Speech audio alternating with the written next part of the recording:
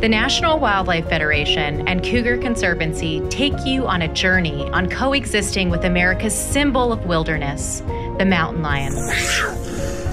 As the last remaining large carnivore in many parts of their range, cougars represent the only species occupying the apex predator role.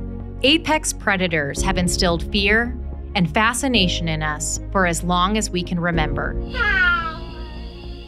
This series brings you the latest scientific information on coexisting with cougars to help keep you, your family, and pets safe in cougar country. Come with us on this conservation journey.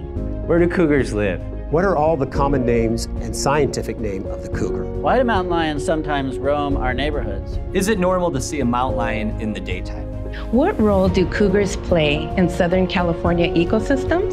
Can cougars overpopulate an area? How can we save LA cougars? You asked, we answered. Discover how to coexist with cougars.